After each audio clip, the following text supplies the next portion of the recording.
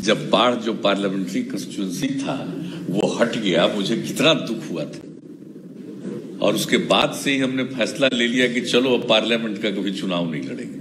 नमस्कार, मैं हूँ शुभ और आप देख रहे हैं न्यूज़ सोनीशन बिहार के मुख्यमंत्री चुनाव क्यों नहीं लड़ते? इस सवाल का जवाब लगातार विपक्षी दलों की तरफ़ से तलाशा जाता है और पूछा भी जाता है, लेकिन आज इस सवाल का जवाब खुद मुख्यमंत्री नीतीश कुमार ने दे दिया है। आपको बता दें कि मुख्यमंत्री नीतीश कुमार उच्च सदन के सदस्य हैं, लेकिन विधानसभा के नहीं। और यही वजह है कि लगातार तेजस्वी यादव ने भी इस सवाल को उठाया है कि आखिर क्यों नहीं? मुख्यमंत्री नीतीश कुमार विधानसभा चुनाव में सामने आते हैं, हिम्मत है तो चुनाव लड़कर दिखाएँ। इस सवाल का जवाब मुख्यमंत्री नीतीश कुमार ने क्या दिया है?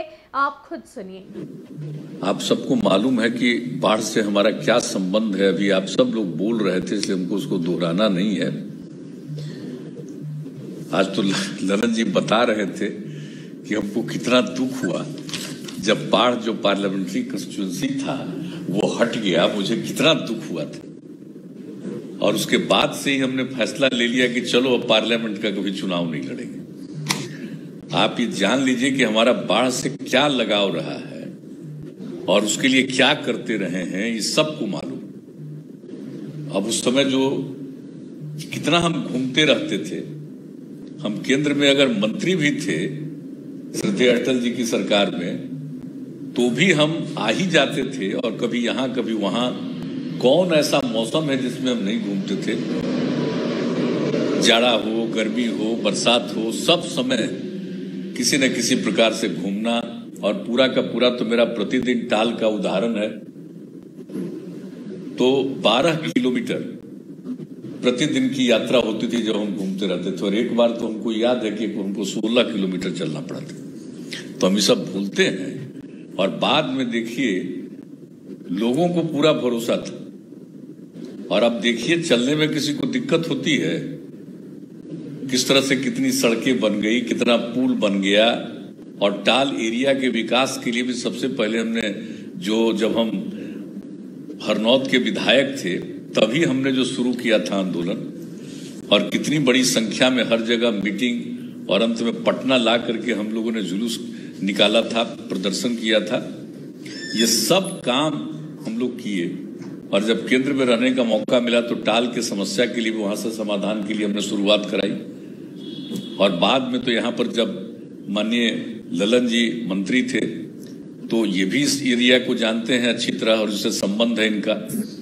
तो सब मिला करके टाल एरिया के विकास के लिए जो योजना बनी और उस पर काम करना प्रारंभ कर दिया तो ये सब तो होता ही रहा। और हर प्रकार से विकास के लिए जो भी काम हम लोगों को करना था, जो सबको मालूम है, बिजली के लिए क्या किया गया सर, आप बताइए। जब हमको लोगों ने एमपी बना दिया था तो हमको तो लगा कि भाई कुछ ना कुछ तो करना है। जब हम केंद्र में थे तो उसी को सोच करके ये सब काम हम लोगों ने करवाया। अब देखिए, जो कुछ भी हो रहा तो ये सब काम तो हुआ, लेकिन जब उसके बाद हम एक बार ठीक गए। आज बिल्कुल पुरानी चीज़ को याद बना दिए, ज्ञानू जी। जब हम जानबूझ करके मेरी इच्छा थी कि भीतर देखेंगे पहले बहुत खराब था। अब बात होती रहती है बात होती रहती है। तो, तो जिला तो जब बनाना होगा बनेगा। लेकिन एक बात है कि कुछ पहले से तो कुछ रहना चाहिए ना। तो उसी समय हमने कहा कि भाई यहाँ पर तो कुछ इंतज़ाम ही नहीं है। हम लोग तो घूमते रहते थे अपना मीटिंग करते थे।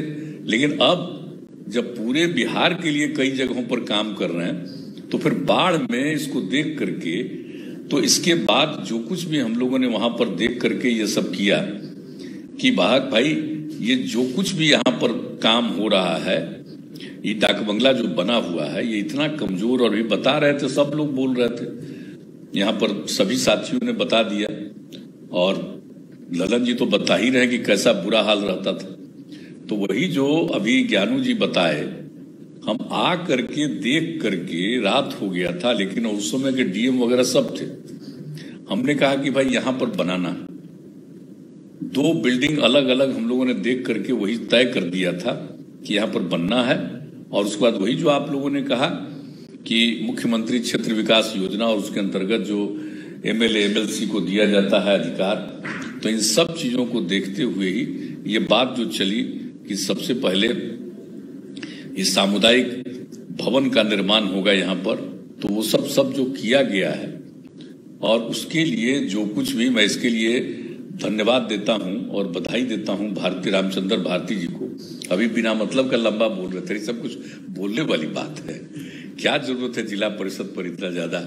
अरे सब तो लगा, थोड़ा समय तो लगा, ये बात सही है। लेकिन बाद में सब लोगों को इस बात का रियलाइजेशन हुआ कि नहीं, करना है और वहाँ पर काम होगा। तो काम हुआ थोड़ा विलंब हुआ। ये बन जाता पहले इसमें कोई शक नहीं।